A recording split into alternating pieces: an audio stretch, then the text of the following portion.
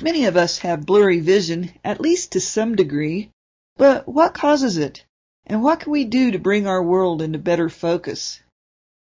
Light enters the eye through the pupil, which works much like the shutter of an automatic camera to help us adjust to brighter or darker conditions.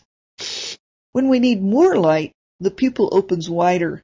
When we need less light, the pupil becomes smaller.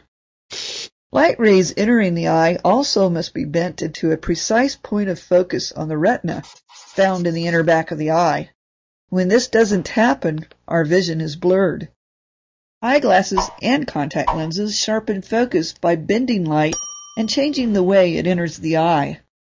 But why do we have blurry vision in the first place? Well, when you're farsighted, your eyeball is too short. This means that light rays reach a point of focus beyond the retina. In this case, you see blurry images up close.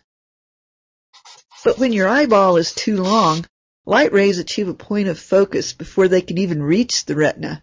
This means you are nearsighted and objects appear blurred in the distance. Many eyes also have an irregularly shaped cornea, which is the clear part of the eye's surface. When this happens, light rays can have several different points of focus. This is called astigmatism, which also causes blurry vision.